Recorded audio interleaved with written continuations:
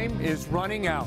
At this hour, millions of American families, including right here in southwestern Pennsylvania, are just days away from losing a critical lifeline. Now, I'm talking about the weekly $600 benefit sent to people who lost their jobs because of the pandemic.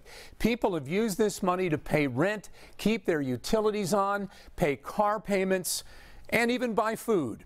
This is 11 at 11. I'm David Johnson. And I'm Lisa Sylvester. New tonight, our Amy Hudak highlights the struggles one man in our community will have, like so many others who are dependent on those benefits, and what will happen if they aren't renewed.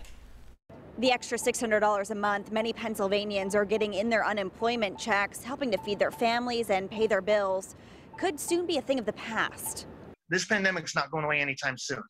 So I'm scared. Chris Um, Hoskins is I'm one of the though. thousands of unemployed Pennsylvanians. He's a cook in a struggling restaurant and hospitality industry, and his severe asthma makes him extremely high risk. I'm still too scared. I'm too scared just to go to the store if I need something.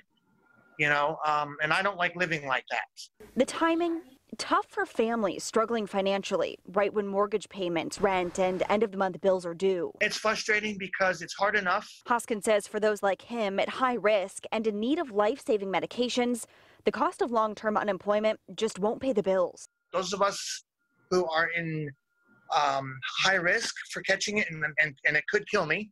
I'm not saying it will, but uh, it could. That 600 a week is is necessary because 195 bucks a week ain't, isn't nothing.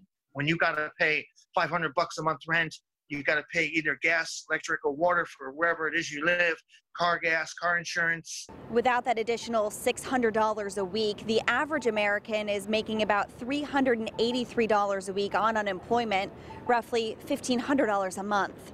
Amy Hudak, Channel 11 News.